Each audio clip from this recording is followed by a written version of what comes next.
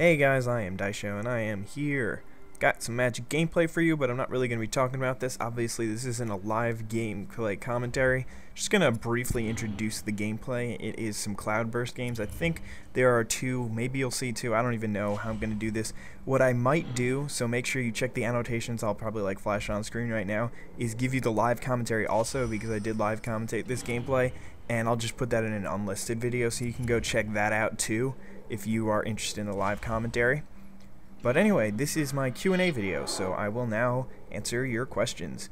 The handsome Brit asked, uh, oh, by the way, I might, if you, uh, if your question didn't get answered in this video, it's because I am commentating this at like 5.30 and I uploaded this video, the video asking for questions at like 11 this morning, so it means I just didn't, you didn't post your question yet and I'll probably do another question and answer video if I get another significant amount of questions. Otherwise, I'll just respond to those uh, by typing it out. So anyway, the handsome Brit says, I was thinking of getting into RL Magic. What deck would you recommend for a newbie to real life Magic? And I have a pretty good answer to that one. I think I'm not really like a Magic expert, so I can't say, oh, this is the easiest, most fun deck to play.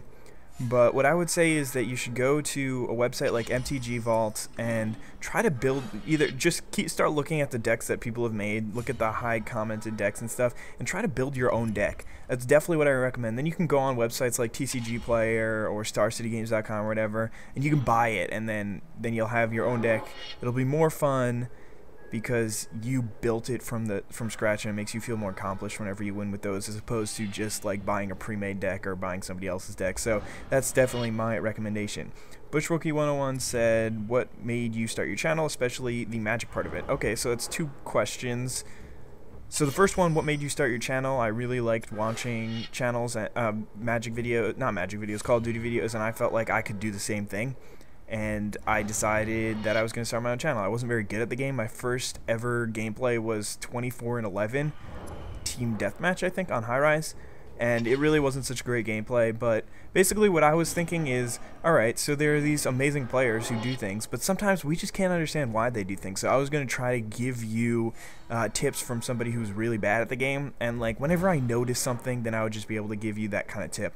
So that was that was where I started that, and how did I start playing Magic? So basically what happened is last year my friends brought, uh, which is going to be the question too, a lot of other answers, I mean, answer to a lot of other questions. But last year, at the beginning of the year, uh, and actually last semester, the beginning of the semester, so like uh, late January, early February, my friend brought in some Magic cards, and we started playing. Me and me and my buddies from the floor, and a lot of us had never played before, including me. And he taught us how to play, and then we basically just played a lot of Magic. We played like all semester whenever we had free time, obviously. And then when I got home, all my friends who played Magic were no were no longer there because I go to school in Maryland and I live in New Jersey. So I wanted to still play Magic. So what I did is I just bought the game, and then I decided, obvious. I mean, it was pretty clear to me that once I bought the game, that I was going to start posting Magic videos. And from there, it just really took off. The new game came out, so I got a lot of views there, and then WMG helped me out a lot. So that's the reason why you guys are seeing my Magic videos today. Uh, next question, Air Max, hey, Air Max Hater says, What are you studying now? Or work? Or what are you doing except YouTube? Smiley face. So, what am I studying now? I am studying business at University of Maryland. I don't know what my major is yet, but so far I am studying business. Uh, Lucari01 said, What type of deck would you like to see in future updates to MTG 2012? The I mean I'm I'm just gonna say the uh, the decks that I have in real life, which are Devour and Landfall. I would like to see a Landfall deck. Uh, my Landfall deck is red, white, green, which is really and it's a really cool deck. I love that one. And Devour is a really fun mechanic, and I don't think that they'll bring they'll like bring it in any more than they have, which is just the Voracious Dragon. But that would be kind of cool to see um, their take on a Devour deck because my Devour deck is so much fun. But anyway, that's pretty much what I want to see. I could probably find a list of other kind of decks that I would want, but pretty much those are the two two main ones. Um, let's see, what what other questions do we have here? Busu Jimiya. I don't really know how to pronounce your name. How long have you been playing Magic for? I answered that since early February, so about eight months, I guess. What is your name IRL and how old are you? My name is Andrew. I am 19 years old. And do you prefer gaming on the PS3, Xbox, or PC? I would probably say Xbox, mainly because it's easier. It's so easy to get into parties with your friends, so easy to invite them and stuff. Like, um, not only that, but I noticed that I had there's so much like even in Magic, in Magic and Call of Duty both, the loading times are about half. Like you look at loading screens for about half the time. So those are the uh, the main reasons I would say. Obi Kenobi says, "What are your favorite one, two, and three mana cost cards to play in an opening? Doesn't matter what deck." I'm probably just gonna have to go with my my beast deck. I don't really know what my th third one. Well, I can't really understand the question. One, two, three mana cost cards to play in an opening. But basically, my favorite start is turn one, play Llanowar Elves. Turn two, play Leatherback Baloth, and I guess I don't know. Turn three, play Garruk. That is that is pretty much pretty much as good as it gets for for my original beast deck. That was fun. Um, Derek Taco says, "What is the hardest part you find in making videos?" The hardest part of making videos is just like I don't really know. I guess I guess it, it's probably it, it depends on which videos I make. Like when I used to make those videos where I used a lot of theater mode, definitely the hardest part was just sitting down, like finding the time to sit down for an hour or two and just start editing and I mean, I didn't do so much editing that was like 10 hours worth, but even 2 hours, you just never are like, "Hey, I want to go make I want to go edit a video." That I mean, I know some people find that really really fun, but it's not something that I actually love. So, uh, I actually love. So, Lion Eating Man asks, "What cards do you think are overpowered in this game?" I think that Bribery and Sword of War and Peace are OP. That was part of the question. What cards do I think are overpowered in this game? Huh, that is a really tough question. And I'm probably going to answer it with saying that I don't think any cards are overpowered. Most decks have really, really powerful cards. Like vampires have Vampire Nocturnus. I mean, like his that card is so good. Um, Vampire Nighthawk, even like it's not gonna win you a game, but it's so strong so early um, unquenchable. Just I mean, just like the incinerates and the kiln fiends, that that's what does the trick. So I think like all the the major top tier decks have like a bunch of really really good cards, but I don't really think any of them are overpowered. Uh, I definitely understand why you could say that of War and Peace or Bribery are overpowered because basically once you play those guys, like the game's over. Like you could also say that Lorthos is overpowered. Um, from AD, but, or Rite of Replication is overpowered, but I really don't think that there are any overpowered uh, decks in this game. I I Penguin ZZZZZ says, "Did you get Battlefield 3?" No, I did not. WB Ram Ramses the third, or just three eyes. I don't really know. Says, "Do you like Xbox or PS3 better?" Um, uh, as I said, Xbox. Tid Dompy asks, "How long have you been playing Magic IRL? Eight months. What's your favorite color in Magic?" I don't really have a favorite color, but both of my decks that I bought are green red, so I don't know, green or red. And what was the other one? If you could have three wishes, what would they be? No more wishing for more wishes. Uh, I don't. I mean, that's that's such a tough question. If I had thought about it in advance, then then maybe I could have an actually a decent answer to this. But just three wishes, I would probably wish for as much. I mean, like ten billion dollars, like a hundred billion dollars, whatever. Just enough money that um, I could survive uh, comfortably for the rest of my life and be happy and not not really need to work. Actually, I'm to revise that one. I would probably wish for a profitable business that would be making me that kind of money I don't really care about being like because if I just if I just wish for ten billion dollars, then what am I gonna do for the rest of my life? I mean, mad playing video games is fun, but even now I have too much time on my hands to just play video games. I have to hang out with friends and stuff. So I would want to be the leader of like a profitable business that of, of something that I really enjoy, because then I would be able to um, to like work with work with that my whole life, and then I guess just have like healthy family, and that, that would be wish number two, and Number three, like, I mean, what kind of wishes are we going? Can I solve world problems with these wishes, or is it just like something that I can, I can do to myself? Like, I don't know. The third one would be pretty difficult, but I guess if I could have a third wish that um, would have nothing to do with the other two, then it would be to be inside an epic video game and like just be Sora from Kingdom Hearts or something like that. Some dude, maybe not Sora because like all his family dies, but um, but I want to just be like a character in a video game and just spend all my time beating the shit out of people and stuff. That would be, I feel like that would be kind of fun. Hopefully that wasn't such a bad answer. Anyway, Custom X Sapunja, sorry if I pronounced your name wrong. Do you do these commentaries while your roommate is in? Does he ever walk in while you're commentating? Are you proud, ashamed of your magic slash YouTube slash fame slash awesomeness? Okay, so uh, I'll tackle these questions a little bit differently. So last year, when I was doing commentaries, I really didn't like doing it when my roommate was in, and I would go as far as to like if my roommate walked in while I was commentating, I would pretty much just restart the commentary because I just felt really awkward and I couldn't talk. But uh, like over the months and over the years, I got so comfortable live commentating that I really don't care who's watching. In fact, one time my my roommate this year and his dad walked in while I was commentating a video, and I just kept going. Like I didn't even know his dad. I, I think that was the first time he's ever seen me and I I was just commentating, so I really don't care. Um, he does walk in sometimes. It doesn't it doesn't bother me at all. Um, in fact, sometimes there's like a bunch of my friends who are just watching. Like I think the most I've had is like six people watching and two people playing magics on magic cards on the floor um, while I was while I was commentating. So that's pretty cool. And the next part, are you proud slash ashamed of your magic slash YouTube fame slash awesomeness? Um, I would definitely say proud. Um, I'm not really famous per se, but I really am happy and proud of my uh, my magic skills and stuff. No, not my not my magic skills, but just the fact that I've actually accomplished something. Especially now that I'm getting, I'm well, not really getting paid, but kind of getting paid. I'm really happy about that, and I mean, it it just feels like I accomplished something. Um, just because I get so many views per video. So I really want to thank you guys for that. Anyway, Javoik says, "Where do babies come from? Eggs."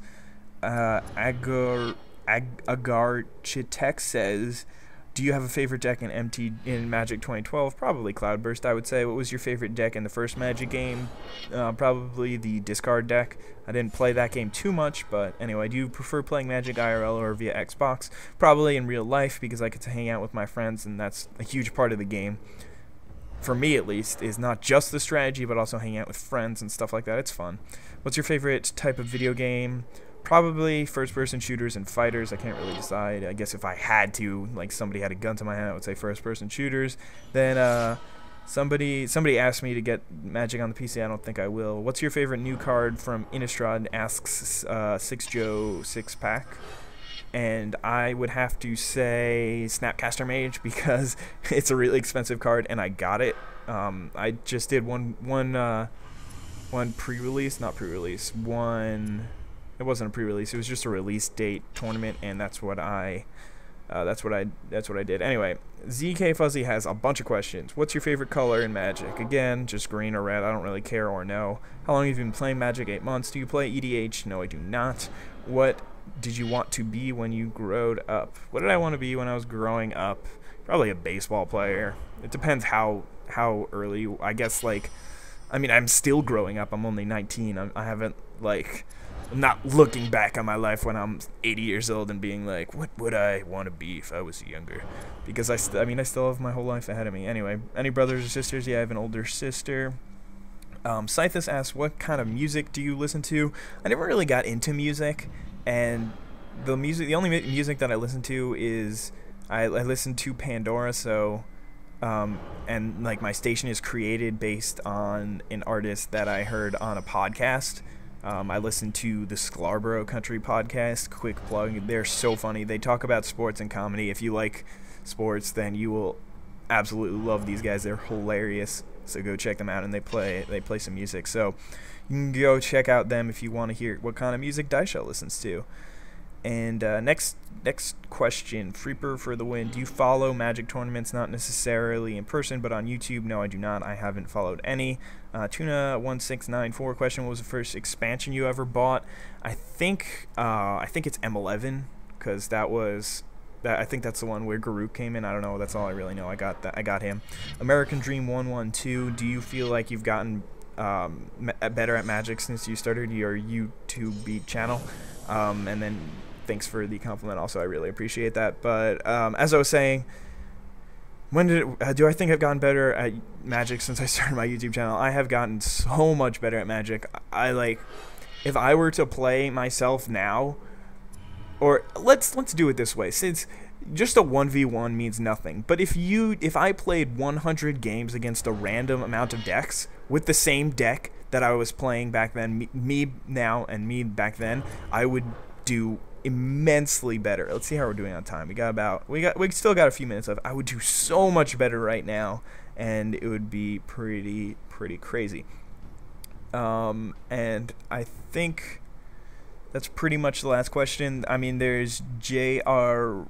J. Rose Sokol asks, "Would you ever do an in real magic, uh, in real life magic video to help newbies get better?" And then like he uh, he expounds on what he's saying, but I don't really think that I would do that because I don't I don't I just don't think I'm that good at this game. I'm still developing and I'm just I need to become a better Magic player before I can say like this is how you do a draft. This is how you do this. I've only I've never even done a draft in my in my in my life yet. So there's like so many of you guys are more experienced than I am, and if I just try to give you um, advice like that, then I'm just gonna sound off come off as sounding like an absolute idiot, and it's just it's not going to be a good thing for me. It's not going to be a good thing for you.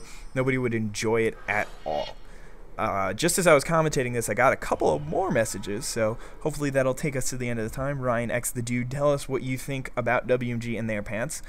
WMG is the best YouTube channel on YouTube right now. They literally are the funniest guys. I watch every single one of their videos. I comment on all of them, and you guys are all legends for thumbing up my comments. You have no idea how proud that makes me uh, when I see my when I see my comments as uh, the top comments on the videos. But they're so funny. They really got me in. They taught me so much about Magic. When I was first learning about Magic, I was like playing all my cards first main phase and stuff. Like I was really a noob. I started watching their channel and they gave me so many tips and stuff.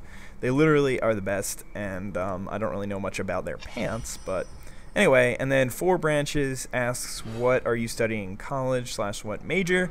As I said earlier, I am a business major and I am studying business. But I mean, I'm taking information systems, which is kind of like how you use data and stuff like that in a company. And it's kind of like a fun class, and I'm definitely considering making that my major, but I'm not really sure exactly what I'm going to do.